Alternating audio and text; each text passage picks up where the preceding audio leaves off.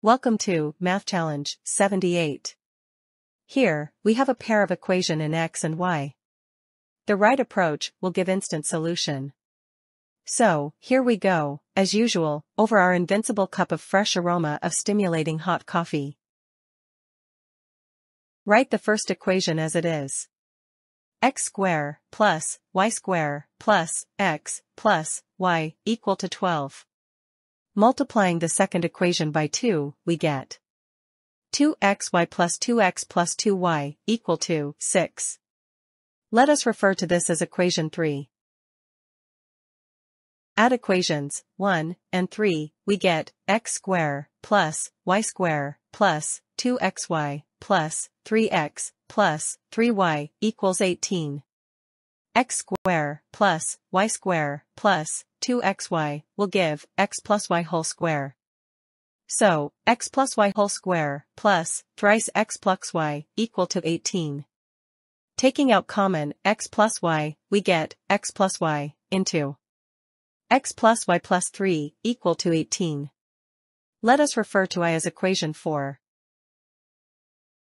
So we got x plus y into x plus y plus 3 equal to 18. Now, x and y are whole numbers, so both the factors are greater than 1. And the difference between the factors is 3. So, the factors are 3 into 6. Thus, x plus y equals 3. This is equation 5.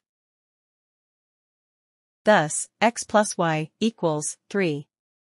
From equation 1, xy plus 3 equals 3, so, product xy equals 0. From equation 1, putting x plus y as 3, we get x square plus y square equals 9.